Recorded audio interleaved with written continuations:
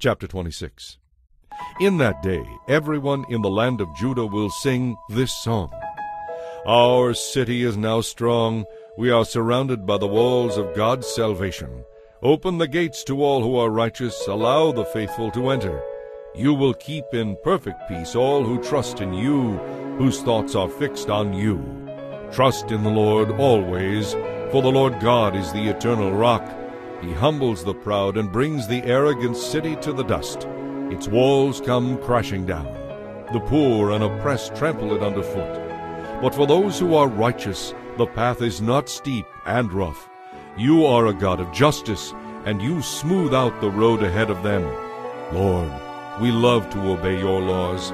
Our heart's desire is to glorify your name. All night long I search for you, earnestly I seek for God.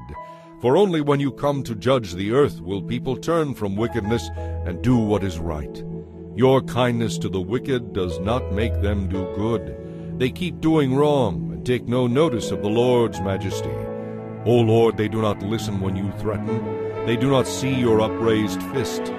Show them your eagerness to defend your people. Perhaps then they will be ashamed. Let your fire consume your enemies. Lord, you will grant us peace. All we have accomplished is really from you. O Lord our God, others have ruled us, but we worship you alone.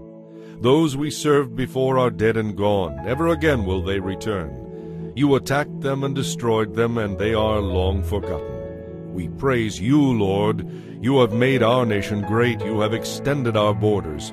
Lord, in distress we searched for you. We were bowed beneath the burden of your discipline.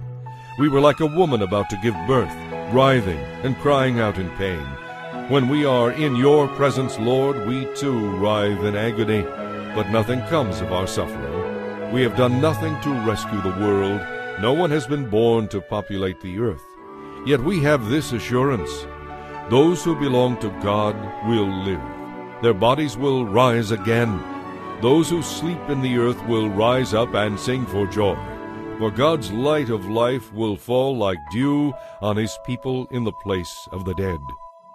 Go home, my people, and lock your doors. Hide until the Lord's anger against your enemies has passed. Look, the Lord is coming from heaven to punish the people of the earth for their sins. The earth will no longer hide those who have been murdered. They will be brought out for all to see.